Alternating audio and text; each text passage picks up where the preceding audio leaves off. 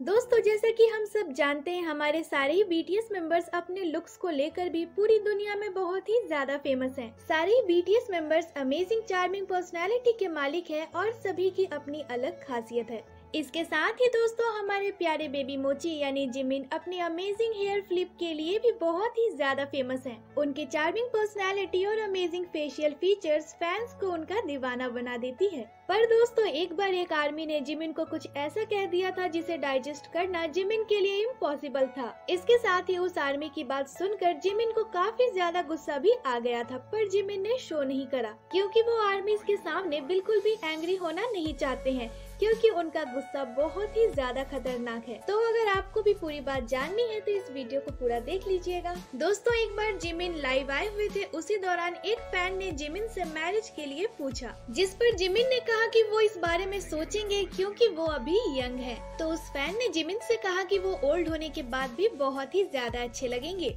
इसके बाद जिमिन ने कहा कि जब मैं ओल्ड हो जाऊँगा, तब मेरे बाल नहीं रहेंगे। मुझे पता है तब आप मुझे पसंद नहीं करेंगी। और इसके बाद फ़ैन उन्हें बाल्ड जिमिन कहना शुरू कर देते हैं। दोस्तों बाल्ड उन पर्सन को कहा जाता है जिनके बाल नहीं रहते, जो गंजे होते हैं। और एक आर्मी ने उन्हें कह दिया I love you bald Jimin. और इसके बाद जिमिन इस वर्ड को सुनकर काफ़ी ज़्यादा अपसेट हो गए थे। और उन्हें बहुत ही ज़्यादा गुस्सा भी आ रहा था। इसके बाद वो आर्मी से कहते हैं कि वो कैसे उन्हें गंजा बोल सकती हैं। और वो कहते हैं कि उन्हें ऐसा कहकर ना बुलाएँ। इसके साथ ही जिमिन कहते हैं कि वो ऑलमोस्ट उस आर्मी पे रिपोर्ट मारने वाले थे, क्योंकि वो एक आइडल है तो अगर कोई उन्हें ऐसा कुछ बोले तो वो बिल्कुल ही स्टैंड ले सकते हैं। और हम सब जानते हैं, जिमिन इतने ज़्यादा स्वीट है कि वो ऐसा कुछ करेंगे तो नहीं। पर उन्होंने इतनी बड़ी बात कह दी, जिससे साफ़ पता चलता है कि वो गुस्से में थे। इसके साथ ही दोस्तों, उनके सामने उनकी प्यारी आर्मी थी, जिस कारण उन्होंने अपने गुस्से को शो नहीं करा, बस हँसते रहे। और दोस्तों आर्मीज को भी ये ध्यान रखना चाहिए कि वो इतने बिगेस्ट आइडल से बात कर रही हैं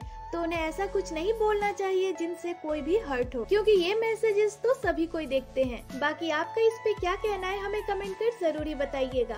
तो दोस्तों, ये थी आज की वीडियो वीडियो को लाइक करें चैनल को सब्सक्राइब करें। इसके साथ ही आप हमें इंस्टाग्राम पे फॉलो कर लें, जिसकी लिंक चैनल पे दी हुई है। अपना बहुत सारा ख्याल रखें। मिलती हूँ आपसे अगले वीडियो पे।